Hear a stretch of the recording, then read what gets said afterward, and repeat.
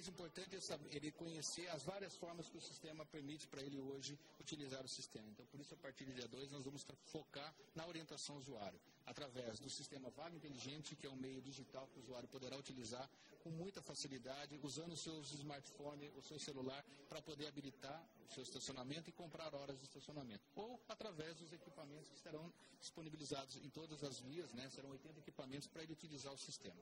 É, o que vai mudar? A facilidade de encontrar espaço para estacionar no centro, diminuir a circulação desnecessária de veículos, garantindo com isso a melhoria nas condições de mobilidade urbana. É esse o foco principal do projeto. Nós teremos agora uma modernização muito grande, uma informatização, é, mais monitores e também uma fiscalização feita pela informatização. Isso é inovador, será fundamental para melhorar a fiscalização da segurança e melhorar todo o sistema da área azul da nossa cidade.